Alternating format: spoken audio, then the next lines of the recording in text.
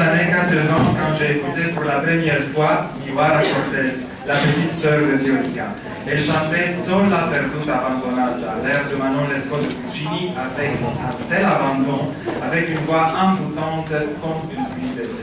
Le répertoire italien, surtout Verdi et Puccini, lui servait à la merveille, car lui offrait la possibilité de brûler avec une intensité remarquable. L'air de la Neanzolontana est une autre spécialité.